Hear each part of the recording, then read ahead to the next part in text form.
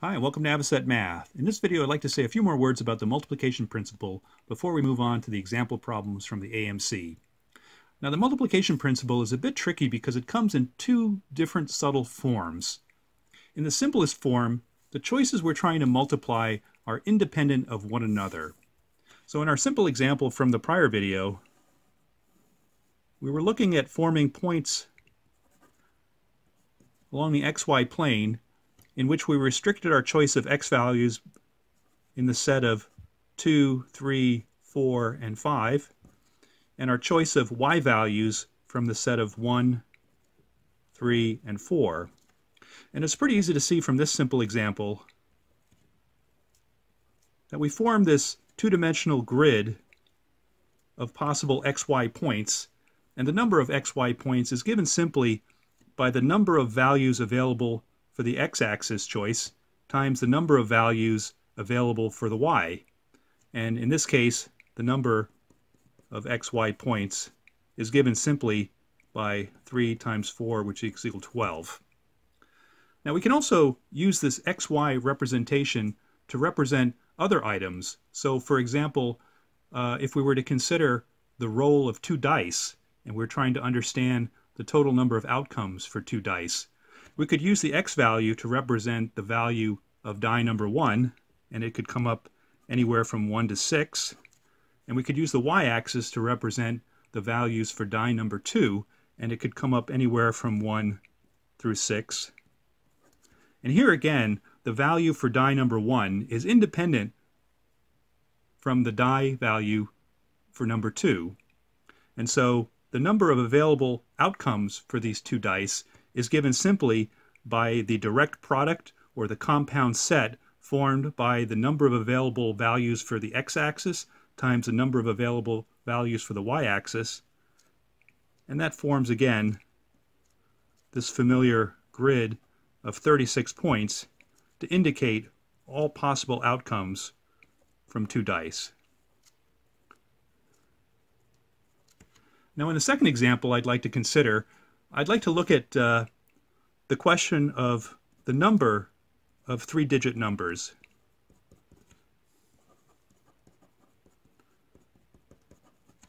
And to examine this by uh, looking at the possible choices for the three digits, the units digit, the tens digit, and the hundreds digit. So for the units digit, it seems as though we can choose digits from 0 to 9 for 10 available choices, and for the tens digit, we can choose 0 through 9 for 10 available choices. And for the hundreds digit, we can't choose a leading 0, so we have to choose from digits 1 through 9 for 9 available choices. And the critical judgment here is that our choice for the hundreds digit is independent from our choice for the tens digit, and they're independent from our choice for the units digit. So we can use the multiplication principle to find the total number of choices combinations as being 9 times 10 times 10 for 900 choice combinations, which represents the total number of three-digit numbers. Now this is the case, again, where the choices we're trying to multiply are independent of one another. So in the case for the xy axes, our choice for the y value was independent of our choice for the uh, x value.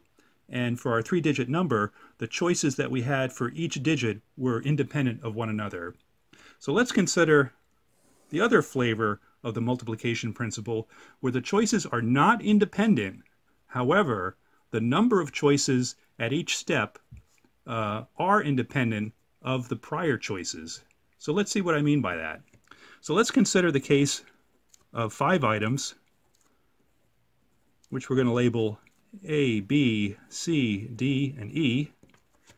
And we're going to try to consider the case where we're going to select three items from this set of five items and place these items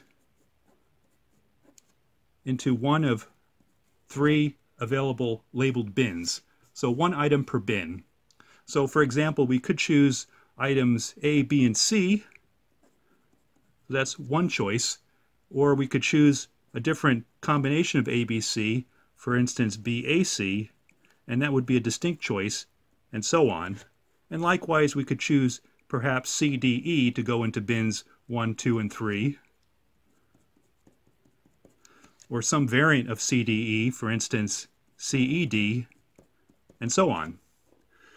So if we examine this problem carefully, we realize that for each of these bins, we can basically decide how many choices we have available. So if we go down bins 1, 2, and 3, at the first bin, we realize that we have five choices to make for bin number 1. And having made this choice for bin number 1, when we get to bin number 2, there'll be four available choices remaining. Now, having made the choices for bins number 1 and bins number 2, we realize that no matter, how the, no matter how these choices are made, the number of choices available for bin number 3 will always be 3.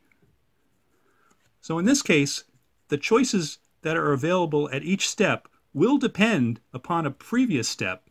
However, the number of choices that are available at each step is independent of the prior steps.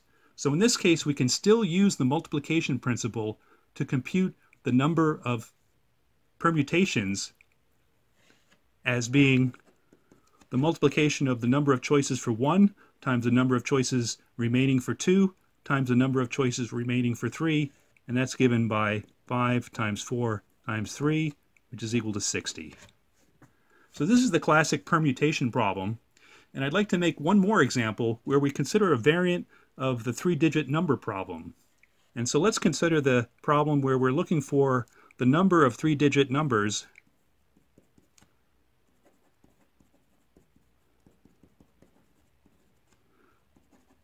with no duplicate digits.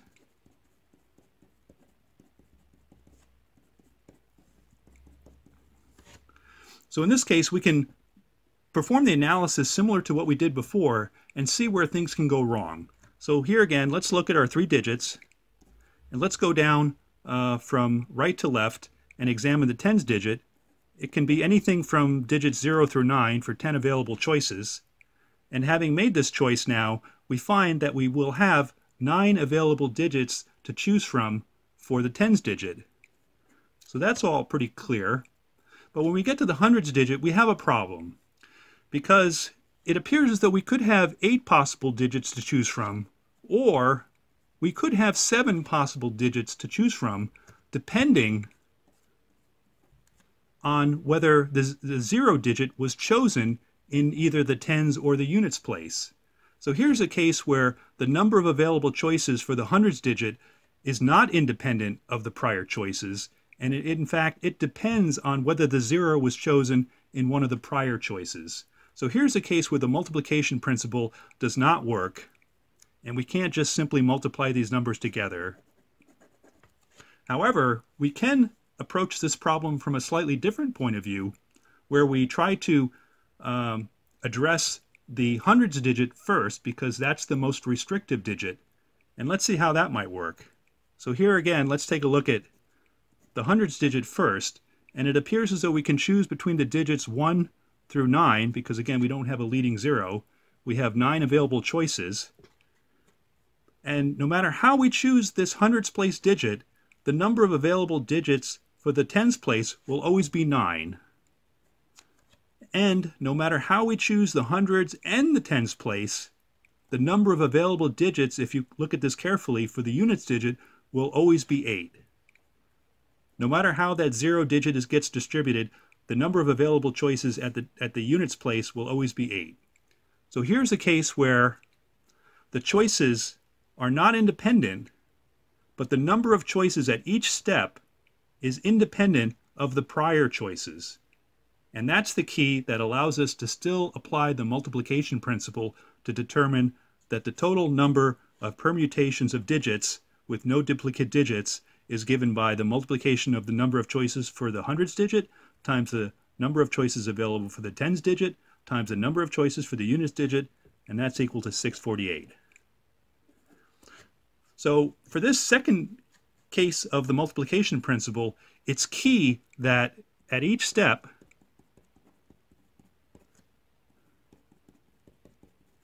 the number of choices available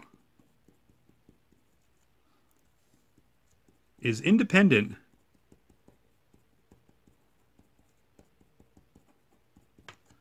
of the prior choices. And if that's the case, we can still use the multiplication principle. So it's this second case which is a little bit more nuanced. When we can identify uh, choices that are completely independent, it's very easy to apply the multiplication principle. But when we have this sort of dependency, uh, then it becomes a little more tricky to apply the multiplication principle properly. We have to be careful that even though these choices are somewhat connected, we have to be sure that at each step in the process, the number of choices is independent of all the prior choices. And if we can attack the problem in such a way that we can satisfy this condition, then we can use the multiplication principle to find the total number of permutations. And uh, anyway, that's something that's uh, difficult to, uh, to get a hold of but uh, it's something that's discussed in a little more detail in the Art of Problem Solving videos. And I think uh, they refer to this as multiplication with restrictions. So if you want some more detail on that, check out those videos, and uh, we'll see you at the next video. Take care. Bye-bye.